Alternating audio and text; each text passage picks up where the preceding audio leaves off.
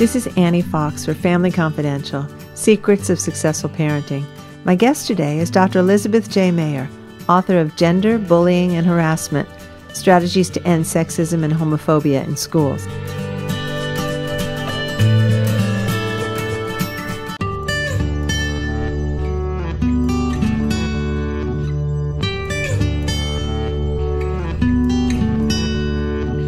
My guest today is Dr. Elizabeth J. Meyer. Dr. Meyer is an assistant professor in the Department of Education at Concordia University in Montreal. A former high school teacher and coach, she is the author of Gender, Bullying, and Harassment Strategies to End Sexism and Homophobia in Schools. While there have been countless studies of bullying and harassment in schools, none have examined the key gender issues related to these behaviors. In her book, Dr. Meyer does just that and she offers readers tangible and flexible suggestions to help them positively transform the culture of their school and reduce the incidence of gendered harassment.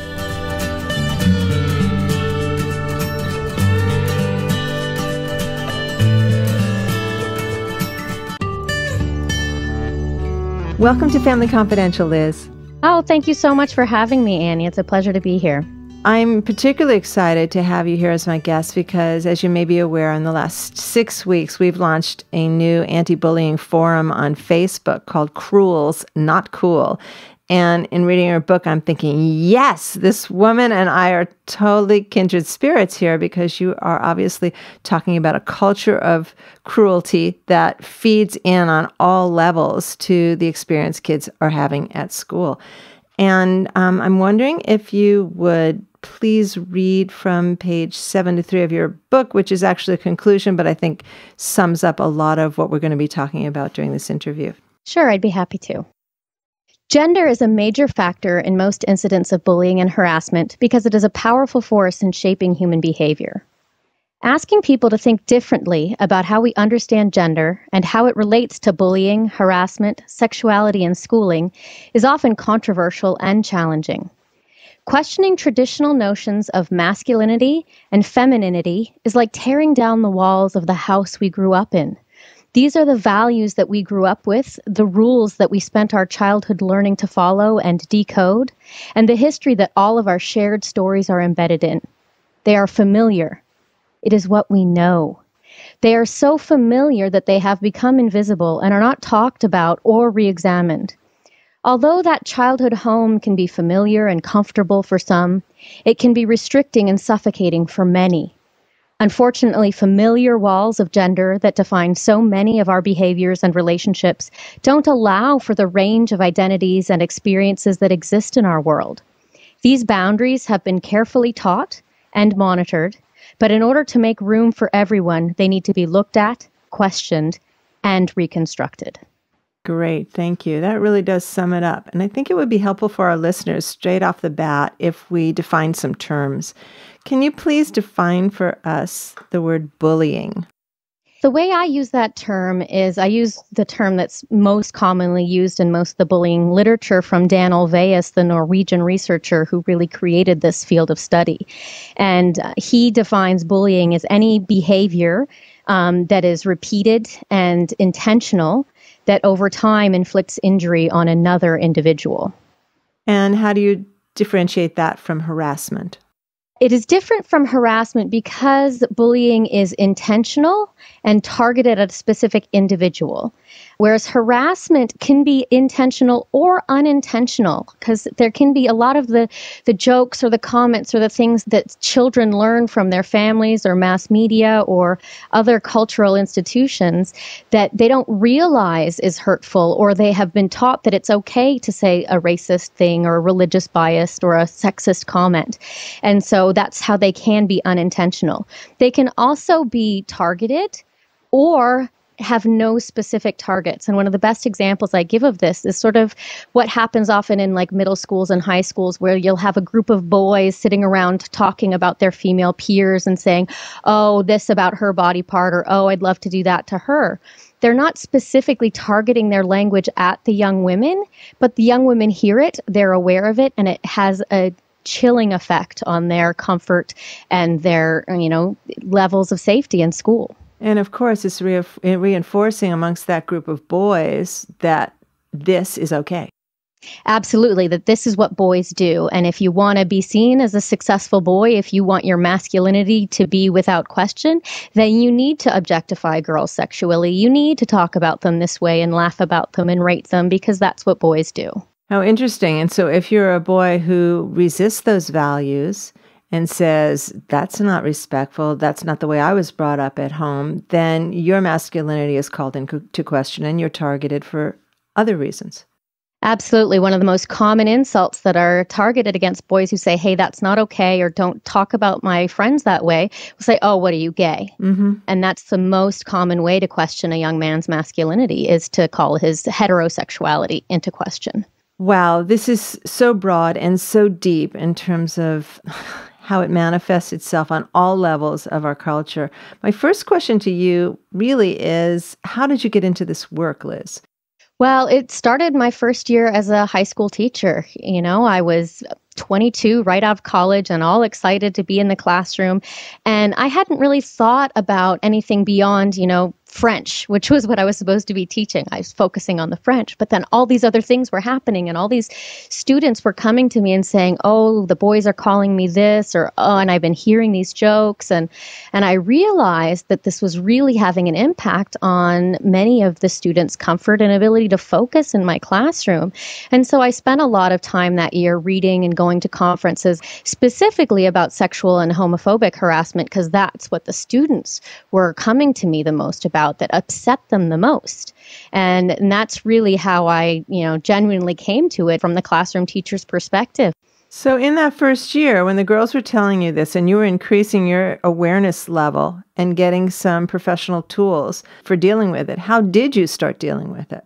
Well, a lot of the things that I started with was just individual support. As a new teacher in a new school, I really wanted to start small. So I did. I listened to them. I gave them some coping strategies. I would give them books to read for support and ideas on how to handle situations themselves. But then I slowly started practicing the language myself in the classroom of saying, hey, you know, that joke is not funny. It's not okay to make comments like that about your your female peers or about gays and lesbians. And I got that, you know, from reading newsletters and from going to conferences because this was sort of pre World Wide Web. I'm dating mm-hmm. myself a little bit here, but it was taking baby steps and Unfortunately, I tried to go a little bit higher and meet with the administration and talk to them about more systemic things we could do in the school, like starting a diversity club or having bulletin boards outside of my classroom.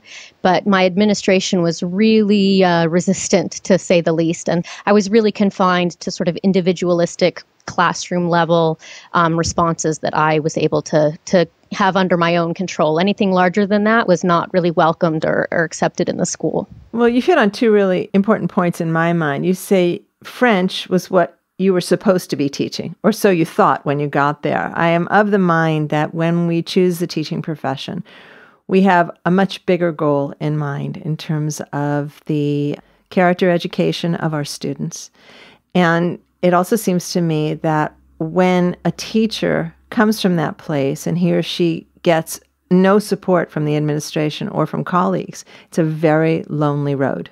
It is. It's especially because I see this most in new teachers in the first, second, and third years of teaching because many of them are called to the profession because they want to make an impact in the lives of youth. They want to make a difference in our society. And so it isn't necessarily about helping students master the math or improve their punctuation. It's really about helping them be better citizens or promoting social justice or, you know, all these other larger principles.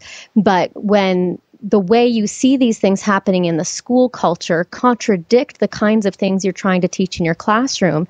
When you're a new teacher, you're particularly vulnerable, and it's hard to kind of seek out those allies and who can I talk to, who will be supportive, how far can I go before I get a reprimand, an angry parent phone call, before I, you know, sort of cross the line in terms of what's acceptable in this school culture. And that's one of the very delicate dances that that many teachers who feel vulnerable in schools, whether it's because they're a new teacher, whether it because they identify as gay or lesbian, whether because they're a religious or racial minority, there's a lot of reasons that teachers feel vulnerable and powerless in their school communities. Well, I think this notion of culture and the power of the individual to change culture is very fascinating to me and, and daunting, depending on how you look at it. We've recently launched this Facebook forum on bullying, and it's not really about, oh, tell us your worst stories, because those abound in newspapers and they're horrific enough. I really set up the forum as an opportunity for parents and teachers and kids to talk about their personal experience with an eye towards solutions, things that are working, inspirational teachers that they have had who managed to shift the perspective even just within the classroom. And that made it safe enough for those kids to talk, to be heard, and to feel some sense of empowerment about themselves. And so that when the, the bell rang and the door opened and they went into the wider world of that school community, they were taking some of those lessons with them. But the idea of changing culture is enormous. And you talk about it in very specific ways in the book, which I'm going to get to in a bit. But I'm wondering if, when you're a new teacher looking for positions, do you try to find a school whose culture matches your own values? Or do you go in with a warrior stance and say, put me anywhere and I will positively impact this culture? And that's a great question, and one that I get asked quite often in, in the pre service teacher education classes that I do teach. What I say to students is that when you go out on interviews, it really should be a two way interview process because you are looking for a good fit. Because as teachers, you do teach who you are, whether you're doing it intentionally or not. Your values do shape the way you handle incidents and ask questions and interact with students in the classrooms. So I do encourage teachers to ask about how do they handle certain kinds of things, to read policies and procedures, to talk to other teachers who work there and say, okay, here's, I know this is what I've read officially, but kind of what is unofficially going on here. And even talking to the students because yes, the individual does have a lot of power to initiate and sustain change. But if you have powerful resistance from the leadership of the school or the entrenched sort of long, you know, old guard, the teachers who've been there forever, then no matter how inspired and committed you are, it's a sure recipe for burnout. But, you know, that being said, a lot of young teachers don't have that kind of freedom and flexibility. They just right. want to get a job. Right. And they may get one offer and they take it. Correct. Let's talk about the role of the administrator because I've always thought, and I do a lot of work in the schools, um, mostly as just a person who comes in to do a student assembly or two, to do a teacher training, or to do a parent education event. I get a sense of the school as soon as I walk in and talk to the administrator, but then I'm gone. But I certainly can't avoid noticing that the tone is set from the leadership above. I'm very interested in hearing your take on how administrators can walk that fine line because they are, in fact, they're dealing with values education and they are going to get pushback from a lot of parents, especially when you're talking about things like sexism and homophobia. There are obviously students who grow up in homes where homophobia is some kind of a religious belief and they feel quite justified in bashing gays. Yes, and that is one of the arguments that I hear most often from teachers and administrators. Well, I can't talk about this because I have to respect the religious views of the students and the yeah. families in my school community. And what I try to help them see is I see it as sort of two things. I look at it from a human rights perspective and from sort of a diversity and um, inclusion perspective. And the way I look at it is I use a legal framework that's been used in Canada in their human rights decisions around teacher expression and religion and sexuality in schools. And it is drawing this line between beliefs and behaviors that we can't legislate beliefs, and you are absolutely entitled to whatever religion, spiritual value, belief system that you have at home. And you can express those views in private and in your places of worship and exchange those views. But when you're in public settings, and schools are public settings, particularly publicly funded schools, that any behavior that infringes on the rights of others, that causes a discriminatory or bias filled environment, needs to be stopped. Mm-hmm. And so we're not though as an educator i do want people to question their beliefs and work towards a more equitable and socially just world.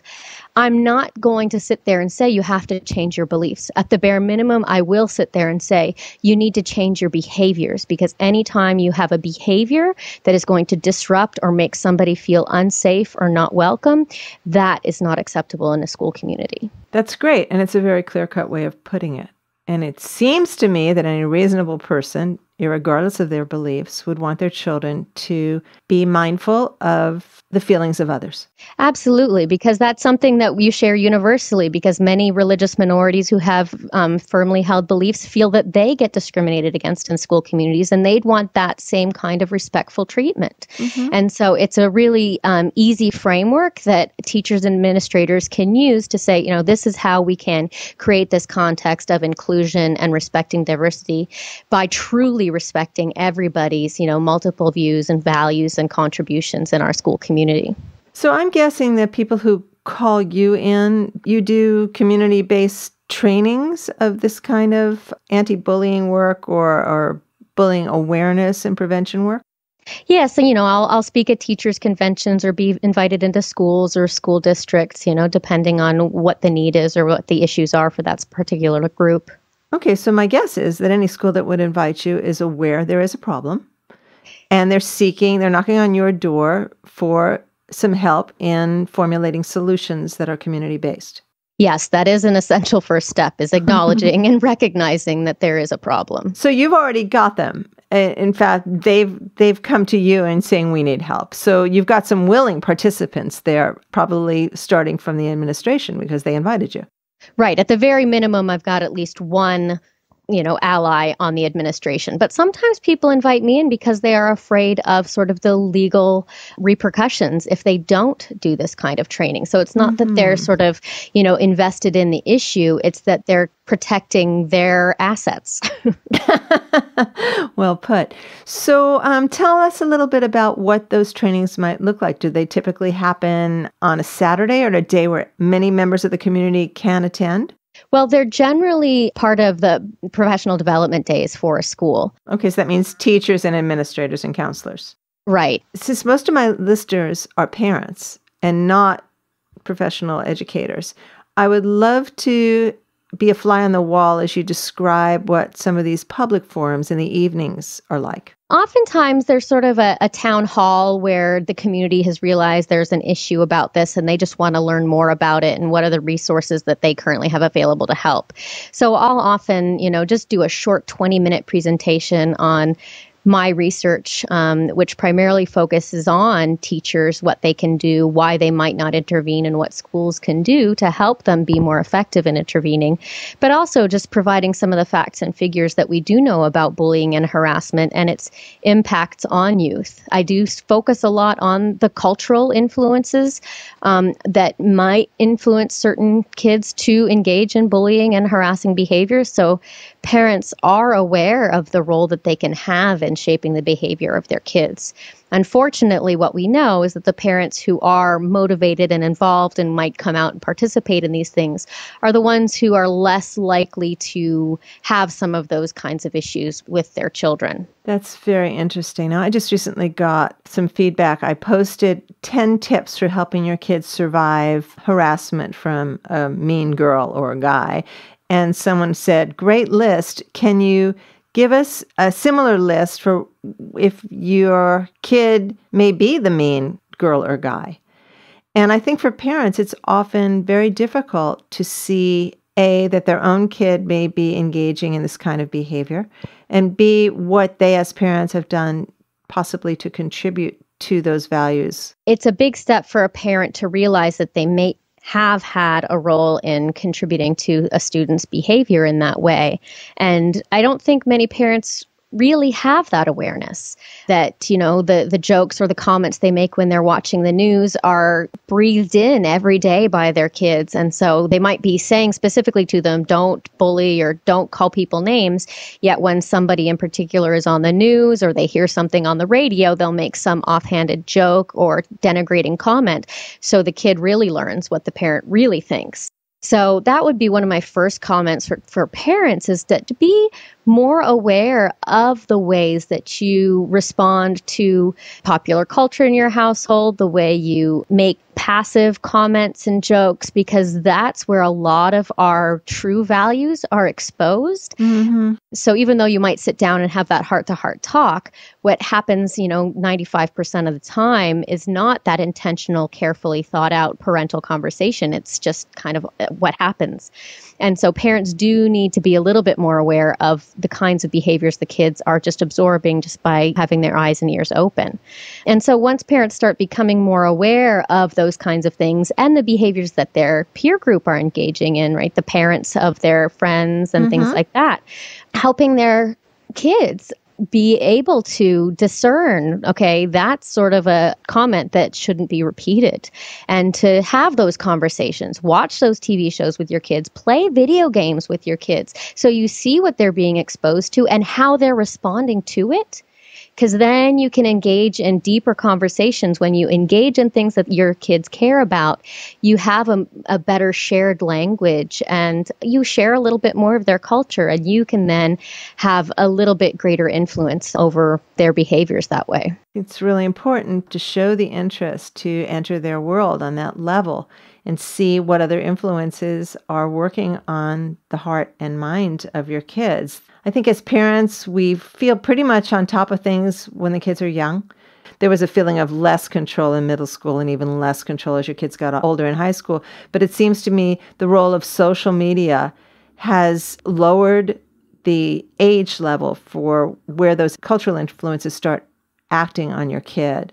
I'm curious to hear your input on guidelines for parents in terms of that kind of online exposure to a wider culture? we know that adolescence is the time when when kids are really trying to seek out their own identities separate themselves from their parents and so the influence of the peer group becomes huge. So no matter what parents say and do, we know that whatever is perceived as cool by their peers is going to have so much greater impact on the behavior and the choices of our children. And that's a natural developmental stage, we might add. Absolutely. Absolutely. But as far as social media and the internet and things like that, I know many people who do work in cyberbullying and talking about sort of the threats of the anonymity of all of these sort of chat rooms and um, Formspring and Facebook and places like that can really be dangerous places. But again, I feel like these are huge opportunities for parents to understand their children better and for children to seek out all kinds of new sources of information, particularly youth who might be gay, lesbian, bisexual, transgender, or questioning their gender or sexual identity people who are racial and religious minorities, they find a lot of strength and community mm-hmm. in these chat rooms and in these social networking opportunities, um, whether it be through shared music and art and YouTube videos and things like that. It really is an identity forming participatory experience for youth. So it's not all bad. No, no. And most of the time, it's actually quite healthy. Mm-hmm. So it's just a matter of constantly having those conversations with your kids. And, you know, what we do know about cyberbullying is that most kids don't report it to their parents because they're afraid of losing their access to right. that community. And so, though you do want to protect your children, using the loss of the internet as a response to some you know negative behaviors will keep your students keep your children from feeling okay to tell you about what is going on. So, creating that culture of openness in your family that it's okay to tell me, I'm not going to punish you, I'm not going to take things away from you. Mm-hmm. We're just going to work together as a family unit to find ways to make you feel safer, make you feel supported, make you feel loved and appreciated when you've had a negative experience. Mm-hmm. That's really good. I, I hate the knee jerk reaction you hear from many parents. It's just like, well, just take it away from them. You're paying for it. Just take it away from them. And for many kids, as you say, it's a very positive experience, especially if they're not experiencing a lot of social connection at school to be able to go online and have a community of accepting friends. There's that aspect of social media. The other part is the cell phone and the IMing, which is not so much destination websites for social connections, but more of a tool for sometimes harassment and bullying of other students. I kind of think of it as giving kids who are engaging in that kind of behavior bigger guns with which to do it.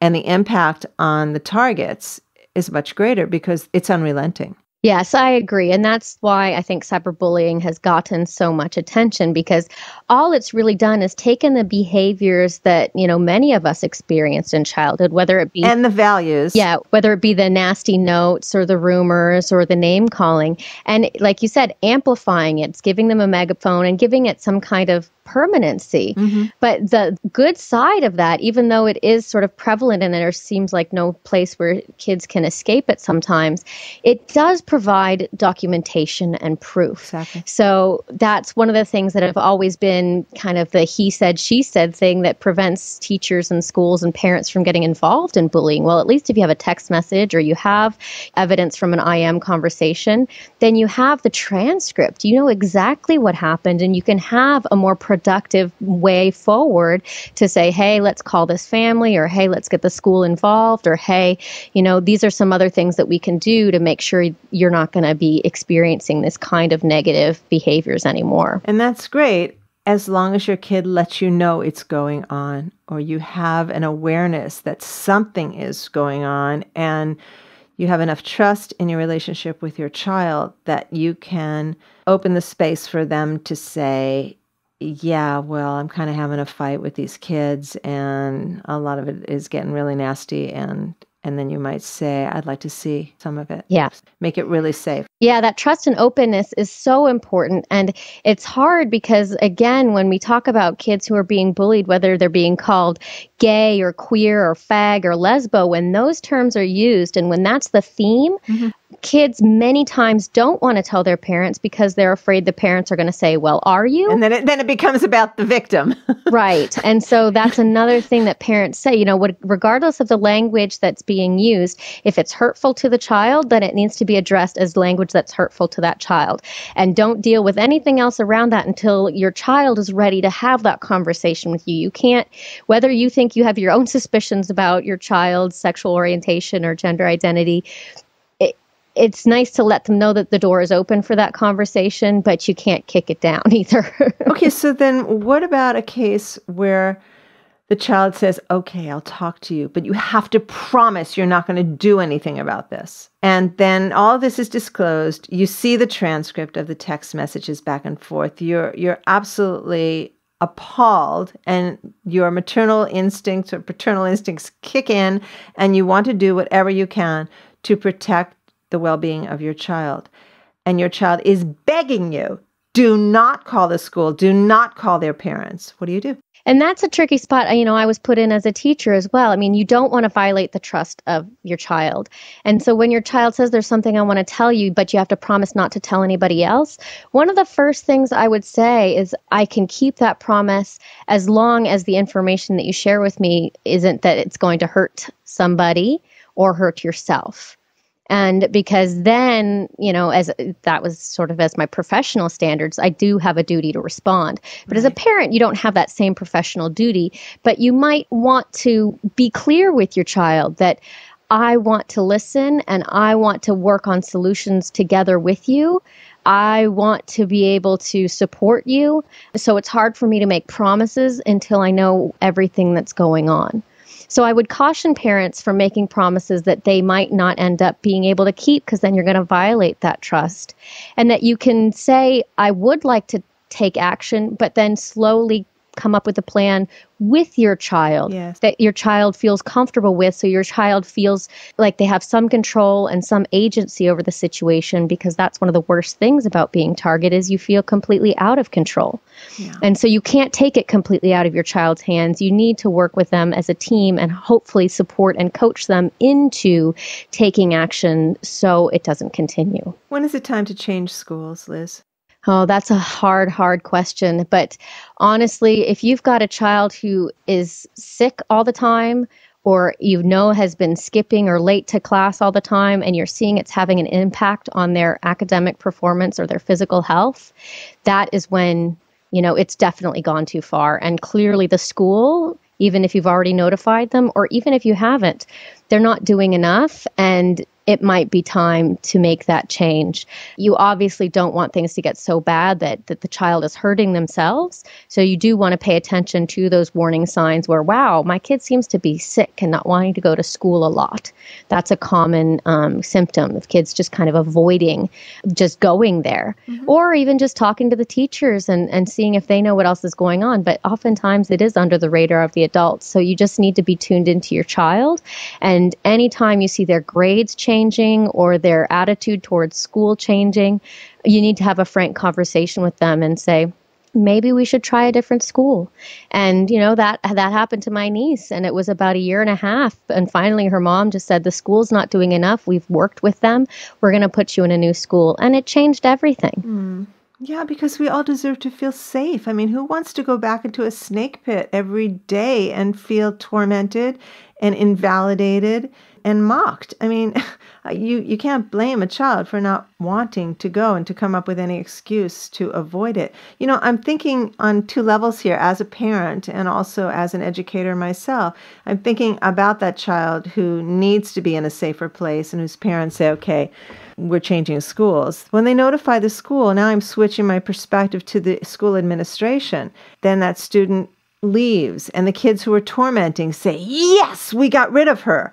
Thinking, what kind of message is that? Well, I think what it is is a message to the school administrators that you have some snakes in your community. And it's not just about, oh, we got rid of this one annoying kid that we didn't like it should be a red flag to the administrator that these kids have a powerful influence over the culture and the well-being of that school and the students in that school. Yeah. And so although the kids might feel like okay, yeah, we've won, they need to be given notice as well that the school is well aware of the kinds of behaviors they've been engaging in and that they are going to be, you know, more closely monitored and that they should not expect to be able to turn their attentions to others without having consequences. Mm-hmm. And that's one of the things is that many of these students are seen as very sort of charismatic leaders in the school community. Yes. Oftentimes they're the popular kids. Oh, of course.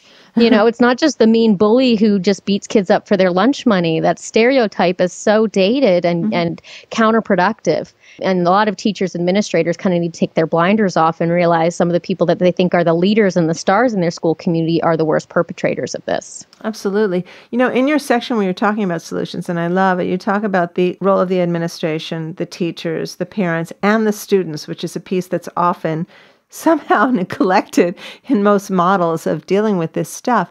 You talk about the use of student leaders, and I, I, would love for you to expound on that a little bit. Because if, in fact, the popular kids who, from the force of their personality and their charisma, are very willing and able to get other kids to do what they say, how do you turn leadership into a positive thing? Or do you tap other kids? I always have sort of a both and approach that obviously, you know, you get the leadership of the school hopefully has that role modeling and, and showing it through their interactions with teachers and students and that sort of thing. But then the way I talk about it in my book is doing some very intentional, whether it be weekend retreats or at the end of the summer before the school year, getting the student council together, getting some team captains together, getting other charismatic leaders in the school together and giving them a training on sort of the mission and values of the school and having diversity and respect and conversations about friendship groups and cliques and bullying and harassment. And then giving them some of those skills, giving them that awareness and that expectation that in, as leaders of the school, we're asking you to set the tone for this community. And oftentimes, what I've seen schools do quite successfully is having an orientation for the new ninth graders arriving or the new sixth graders arriving and saying, these are the cultures and values of our school. And they have the older kids part of that workshop pairing with the younger kids saying, these are the kinds of things that might have happened at your old school that you will learn quickly are not tolerated here. And so you get it peer to peer coaching really is so effective. And then, you know, things that happen outside of the eyesight and ear sight of teachers and administrators, you've got the kids there saying, Hey, that's not cool, or Hey, knock it off. Mm-hmm. And that's often all you need because then the kids realize, oh, Okay, that's not cool here. I really shouldn't be acting that way. Well, this is great and very encouraging. And I hope, in addition to what you've just outlined, that those peer counselors and peer leaders also have an ongoing forum with a faculty advisor, uh, something that's in place ongoing, not just, well, we gave you a training at the orientation and now you're on your own. Because I think, as you know, drama happens in every aspect of school life and there are twists and turns. And in the same way that teachers need to be supported by their colleagues and their administration, student leaders need to be supported by the administration and their teachers. Absolutely. It does need to be consistent. It does need to be revisited. It can't be just sort of this one time thing. Look, we did it. We're better now. Mm-hmm. That's the fault of a lot of these anti bullying interventions is they'll bring in a big name speaker for a day of workshops and say, look, we've done it. Exactly. Not realizing that within two to three years, you've got a whole new batch of students. You know, a lot of your faculty have changed, and you've got to constantly revisit, reinforce, and move towards that vision. And you can't just do it once and say, okay, we've done our job. I know that you've been doing this since you were 22 on some level, working either with your individual students or on a much broader level as you are now. What do you see in terms of trends in this area? Are things getting better? Are people getting more committed to acknowledging that there is a problem and working on solutions? Absolutely. Without a doubt, there is an increased awareness. I mean, the amount of research that's been done on this, the amount of new materials and workshops and conferences that are abounding on topics related to bullying and harassment have just increased exponentially in the past 20 years. Unfortunately, many of them take this sort of individualistic behavioral model to just no name calling, zero tolerance, and that's the end of that.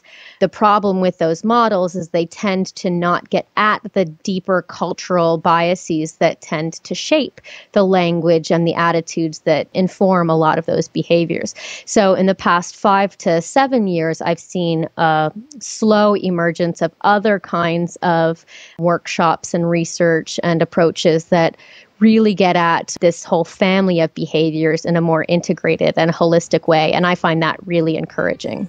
Well, I find this book really encouraging, and I want to thank you so much, Liz, for taking the time to talk to us about this topic.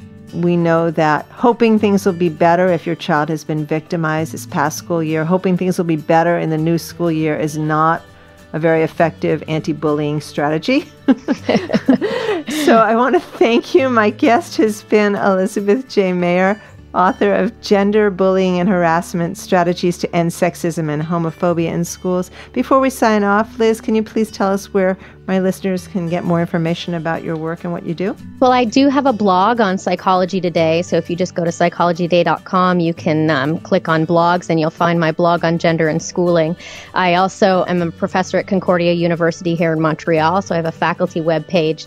But the most comprehensive sort of central site for all of my information is I've got a Google site. So if you just Google Elizabeth J. Meyer, M E Y E R, you'll be able to find my my web page that has all kinds of information information about book events, my blogs, my Twitter feed, various publications and presentations, and how to get in touch with me if I can come and help your community or your school. Thank you so much for the work you do, Liz. It's greatly needed, and you're a shining light. Thank you for having me, Annie.